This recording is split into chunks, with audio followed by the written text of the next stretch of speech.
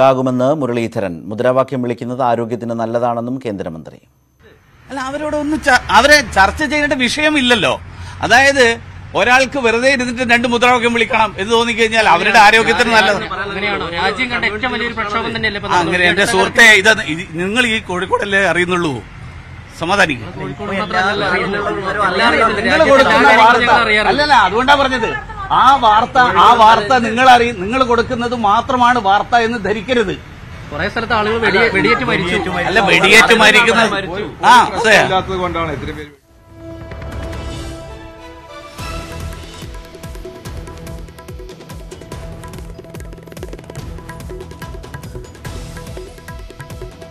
മംഗലൂരു വെടിവെപ്പിനെ ന്യായീകരിച്ചുകൊണ്ടാണ് കേന്ദ്രമന്ത്രി വി മുരളീധരൻ കോഴിക്കോട്ട് സംസാരിച്ചത്. മാധ്യമപ്രവർത്തകരുടെ ചോദ്യത്തിനൊക്കെയും ആ ചോദ്യങ്ങളെ ആ നിലയിൽ തന്നെ നേരിടുക കൈകാര്യം ചെയ്യുക എന്ന നിലയിലായിരുന്നു കേന്ദ്രമന്ത്രിയുടെ ചോദ്യങ്ങൾ. കോഴിക്കോട്ട് മാത്രം ജീവിക്കുന്നത് കൊണ്ടാണ് ഇങ്ങനെയൊക്കെ പറയുന്നത് അല്ലെങ്കിൽ ഇങ്ങനെയൊക്കെ വാർത്തയെ കാണുന്നത് എന്ന നിലയിലൊക്കെയാണ് അദ്ദേഹം ചില ചോദ്യങ്ങൾക്ക് മറുപടിയായി പറഞ്ഞത്. അക്രമം ഉണ്ടായാൽ വെടിവെപ്പൊക്കെ ഉണ്ടാകുമെന്നാണ് കേന്ദ്രമന്ത്രിയുടെ നിരീക്ഷണം. മുദ്രാവാക്യം വിളിക്കുന്നത് ആരോഗ്യത്തിന് നല്ലതാണെന്നും കേന്ദ്രമന്ത്രി കണ്ടെത്തുകയാണ്. അല്ല അവരോടൊന്നും ഒന്ന് അവരെ ചർച്ച ചെയ്യേണ്ട വിഷയമില്ലല്ലോ. അതായത് ഒരാൾക്ക് വെറുതെ ഇരുന്നിട്ട് രണ്ട് മുദ്രാവാക്യം വിളിക്കണം എന്ന് തോന്നിക്കഴിഞ്ഞാൽ അവരുടെ ആരോഗ്യത്തിന് നല്ലത്. അങ്ങനെയാണോ. രാജ്യം കണ്ട ഏറ്റവും വലിയൊരു പ്രക്ഷോഭം തന്നെയല്ലേ അങ്ങനെ. എന്റെ സുഹൃത്തെ ഇത് നിങ്ങൾ ഈ കോഴിക്കോടല്ലേ അറിയുന്നുള്ളൂ? സമാധാനിക്കും. അല്ലല്ല അതുകൊണ്ടാ പറഞ്ഞത്. ആ വാർത്ത ആ വാർത്ത നിങ്ങൾ അറിയ നിങ്ങൾ കൊടുക്കുന്നത് മാത്രമാണ് വാർത്ത എന്ന് ധരിക്കരുത്. കുറെ സ്ഥലത്ത് ആളുകൾ വെടിയേറ്റ് മരിച്ചു. അല്ല വെടിയേറ്റ് മരിക്കുന്ന ആ അതെ. കൊണ്ടാണ് ഇത്രയും പേര് വെടിയേറ്റ് മരിക്കുന്നു. രാജ്യവ്യാപകമായിട്ട്. അക്രമം ഉണ്ടാവുമ്പോ അക്രമം ഉണ്ടാവുമ്പോ അതൊക്കെ നടക്കുന്നു.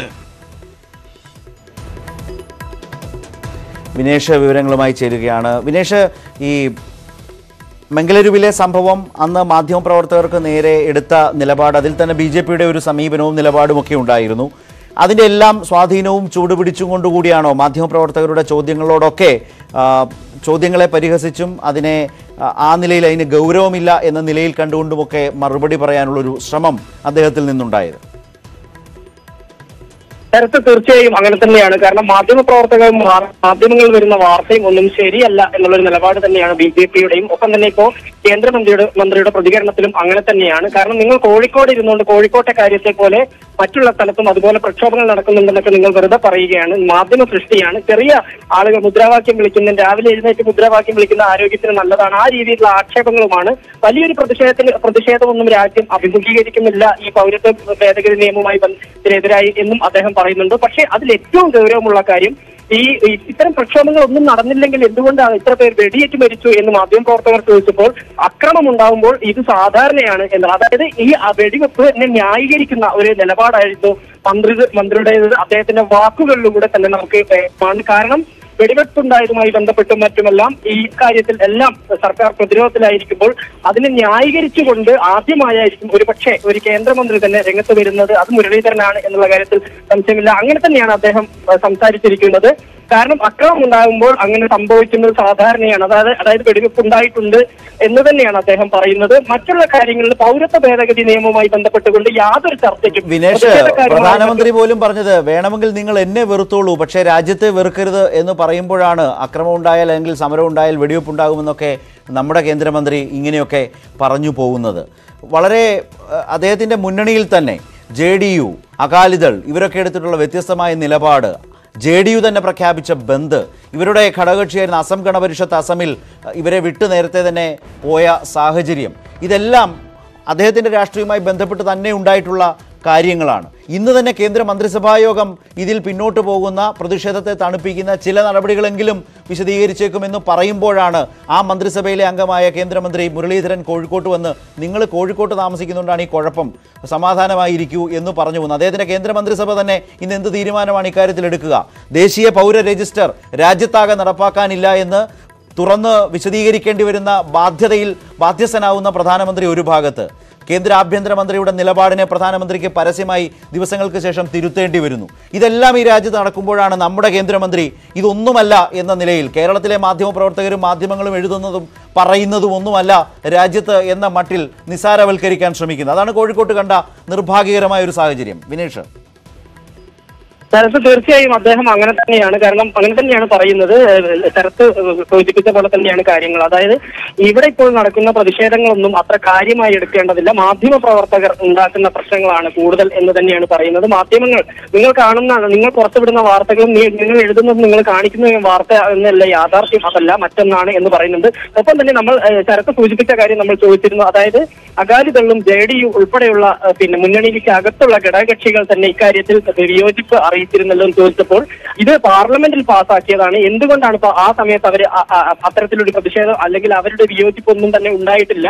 ഇല്ലെങ്കിൽ ഇത് പാർലമെന്റിൽ പാസ്സാകില്ലായിരുന്നു? നിങ്ങൾ ഇത്തരം കാര്യങ്ങൾ പറയരുത് എന്നുള്ള രീതിയിൽ തന്നെയാണ് അദ്ദേഹം പറയുന്നത്. ഈ പാർലമെന്റും പിരിഞ്ഞ് അതിനുശേഷമാണ് ജനങ്ങളുടെ പ്രതികരണവും പ്രതിഷേധവും അറിഞ്ഞുകൊണ്ട് ആ കക്ഷികൾ പരസ്യ നിലപാട് സ്വീകരിച്ചത്. അദ്ദേഹം ഇന്നും ആ പാർലമെന്റ് നടന്ന ദിവസം എടുത്ത നിലപാടിൽ മാത്രം നിൽക്കുകയാണ്. അവിടെ നിന്ന് ഒരുപാട് കാര്യങ്ങൾ മുന്നോട്ട് പോയല്ലോ വിനേഷ്. തീർച്ചയായും അതെല്ലാം തന്നെ തള്ളിപ്പറയുന്ന ഒരു നിലപാട് തന്നെയാണ് കേന്ദ്രമന്ത്രിയുടെ. ഇത് കാരണം ഇപ്പോൾ നടക്കുന്ന പ്ര- പ്ര- പ്രതിഷേധങ്ങളെല്ലാം തന്നെ ചില ആളുകൾ ചില ഒറ്റപ്പെട്ട ഇത് എന്നുള്ള രീതിയിൽ തന്നെയാണ് അദ്ദേഹം പറയുന്നത്. കാരണം രാജ്യം വലിയൊരു പ്രക്ഷോഭത്തിന്റെ പാതയിലല്ല ഈ അടുത്ത കാലത്ത് രാജ്യം കണ്ട ഏറ്റവും വലിയ പ്രക്ഷോഭമല്ല ഇപ്പോൾ നടക്കുന്നതെന്ന് ചോദിച്ചപ്പോൾ അത്തരത്തിലൊന്നുമില്ല. അതെല്ലാം നിങ്ങൾ സൃഷ്ടിക്കുന്നതാണ് മാധ്യമങ്ങളുടെ സൃഷ്ടി മാത്രമാണ്. അത്തരത്തിലുള്ള ഒരു പ്രക്ഷോഭം ഒന്നും തന്നെ നടക്കുന്നില്ല.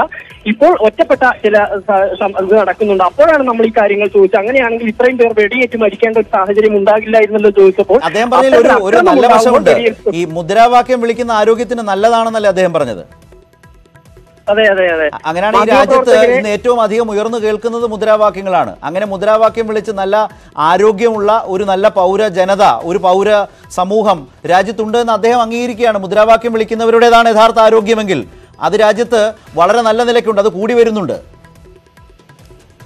തീർച്ചയായും അദ്ദേഹം അത്തരത്തിൽ മാധ്യമപ്രവർത്തകരെ അദ്ദേഹത്തിന്റെ ശരീരഭാഷയിൽ തന്നെ മാധ്യമപ്രവർത്തകരെ ആ രീതിയിൽ ആ- ആ- അല്ലെങ്കിൽ ആ രീതിയിൽ വിമർശിക്കുക മാത്രമല്ല ഒരു ആക്ഷേപിക്കുന്ന രീതിയിലാണ് പലപ്പോഴും അദ്ദേഹം ശരി വിനേഷ് ഞാൻ വരാം. ഇപ്പോൾ K K Ragesh M P telephone ലൈനിൽ ചേരുന്നുണ്ട്. കെ കെ രാഗേഷ് ഇപ്പോൾ ശ്രീ മുരളീധരൻ കേന്ദ്രമന്ത്രി കോഴിക്കോട്ട് എത്തി പറഞ്ഞ ചില കാര്യങ്ങളുണ്ട്. ഇതൊന്നും വലിയ മുഖവിലേക്ക് എടുക്കേണ്ടതെല്ലാം പ്രതിഷേധങ്ങളൊന്നുമല്ല. മംഗലൂരുവിലടക്കം പ്രതിഷേധവും അല്ലെങ്കിൽ അക്രമമൊക്കെ ഉണ്ടായാൽ വെടിവെക്കും. അതൊക്കെ സാധാരണമാണ്. മുദ്രാവാക്യം വിളിക്കുന്നവർക്ക് അവരുടെ ആരോഗ്യത്തിന് കൊള്ളാം. എന്ന നിലയിലൊക്കെ ഈ വിഷയത്തെ ലഘൂകരിക്കുകയും കേരളത്തിലെ മാധ്യമങ്ങളിലൂടെ വരുന്ന വിവരങ്ങൾ അത് ഈ നാട്ടിൽ മാത്രം ജീവിക്കുന്നതുകൊണ്ടാണെന്നും അതിനപ്പുറത്തെ കാര്യങ്ങൾ മറ്റൊരു തരത്തിൽ ഇപ്പോൾ ഇന്ത്യ ഗേറ്റിലേക്ക് വന്നാൽ അദ്ദേഹം കൊണ്ട് കാട്ടാം. ഡൽഹിയുടെ ജനജീവിതത്തെ പോലും അവിടുത്തെ സമരങ്ങൾ ബാധിച്ചിട്ടേയില്ല എന്നാണ് കോഴിക്കോട്ടെത്തി നമ്മുടെ കേന്ദ്രമന്ത്രി നമ്മളോട് പറഞ്ഞ് മനസ്സിലാക്കി തരുന്നത് ധരിപ്പിക്കുന്നത്. ഇതൊക്കെയാണോ സത്യം? പറഞ്ഞ ഫാസിസ്റ്റ് മനസ്സുള്ളവർക്ക് മാത്രമേ അത്തരത്തിൽ സംസാരിക്കാൻ കഴിയൂ എന്നാണ് എനിക്ക് തോന്നുന്നത്. അമിത്ഷായുടെ ശരിയായ ശിഷ്യനാണ് അദ്ദേഹം എന്ന് തെളിയിക്കാൻ വേണ്ടി ശ്രമിക്കുകയാണെന്നാണ് തോന്നുന്നത്. എന്നിരുന്നാലും ഞങ്ങളിപ്പോ മംഗലാപുരത്താ ഉള്ളത്. നമ്മുടെ സി പി ഐ എമ്മിന്റെ കേന്ദ്ര കമ്മിറ്റി അംഗം P Karuna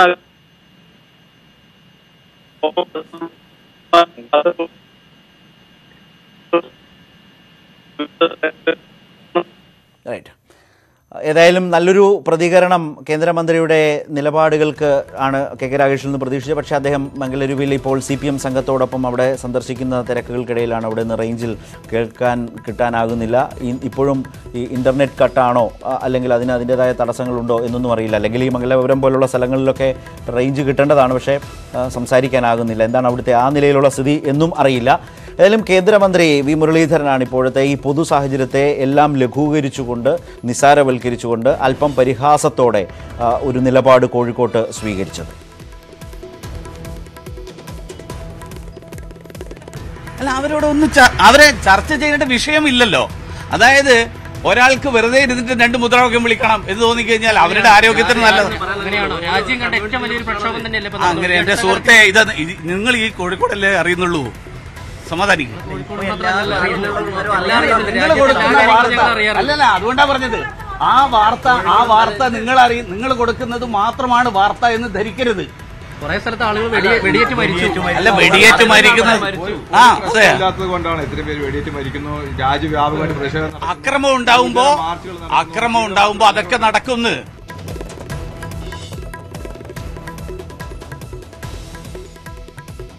V V Rajesh telephone ലൈനിൽ ചേരുന്നുണ്ട്. വി വി രാജേഷ് ഇതൊക്കെ അത്ര കുഴപ്പം പിടിച്ച സാഹചര്യമൊന്നുമല്ല. ഇതൊക്കെ ഇങ്ങനെ പോകുന്നതാണ്. അതൊന്നും കണ്ട് കേന്ദ്ര സർക്കാർ ഭയപ്പെടുന്നില്ല എന്നൊക്കെ അദ്ദേഹം പറയുന്നുണ്ട്. പക്ഷേ ഈ ദേശീയ പൗര രജിസ്റ്ററിന്റെ കാര്യത്തിലൊക്കെ അമിത്ഷാ പറഞ്ഞതല്ല പ്രധാനമന്ത്രി പറഞ്ഞത്. ഏറ്റവും അവസാനം അദ്ദേഹം വിശദീകരിച്ച് ബോധ്യപ്പെടുത്താനൊരു ശ്രമമാണ് പ്രധാനമന്ത്രി നടത്തിയത്. മാത്രമല്ല ജെ ഡി യു ബന്ദ് നടത്തി ഈ പാർലമെന്റ് പിരിഞ്ഞപ്പോൾ വ്യത്യസ്തമായ നിലപാട് സ്വീകരിക്കുന്നു. മുസ്ലിം അഭയാർത്ഥികളെ കൂടി ഉൾപ്പെടുത്തണമെന്ന് അകാലിദൾ പറയുന്നു. ഈ നിലയിലൊക്കെ രാജ്യത്തെ മാറ്റം വരുമ്പോൾ ശ്രീ മുരളീധരനെ പോലൊരു കേന്ദ്രമന്ത്രിക്ക് എങ്ങനെയാണ് ഈ സാഹചര്യങ്ങളെ ഇങ്ങനെ ലഘൂകരിച്ചും പരിഹസിച്ചും ലളിതവൽക്കരിച്ചും കേരളത്തിൽ വന്ന് വിശദീകരിച്ച് ബോധ്യപ്പെടുത്താനാവുക? അല്ല താങ്കൾ പറഞ്ഞതിൽ തന്നെ താങ്കൾ പറഞ്ഞതിൽ ശരത്ത് പറഞ്ഞതിൽ തന്നെ അത് കോൺട്രഡിക്ടറിയാണ് പറഞ്ഞ കാര്യം. കാരണം ആ കോൺട്രഡിക്ഷൻ അദ്ദേഹത്തിന്റെ കാര്യത്തിൽ ഉണ്ടെന്ന് പറയാൻ വേണ്ടിയാണ് ഞാനത് പറഞ്ഞത്. അല്ല അല്ല ശരത്തിന്റെ ചോദ്യം കോൺട്രഡിക്ഷൻ ഉണ്ട്. കാരണം പരിഹസിച്ചും ലളിതവൽക്കരിച്ചും കൂടി ഒരേ സമയം ചെയ്യാൻ സാധിക്കും. സാധിക്കും ഓരോ കാണിച്ചു തരാം. ശരത്ത് പരിഹസം പരിഹാസം എന്ന് പറയുന്നത് പരിഹാസം മാധ്യമ പ്രവർത്തകർക്ക്. പരിഹാസം മാധ്യമ പ്രവർത്തകർക്ക്. മുദ്രാവാക്യം വിളിച്ചവർക്ക് ആരോഗ്യം നല്ലതാണെങ്കിൽ ആരോഗ്യത്തിന് നല്ലതാണ് നിങ്ങൾ വിളിച്ചോളൂ.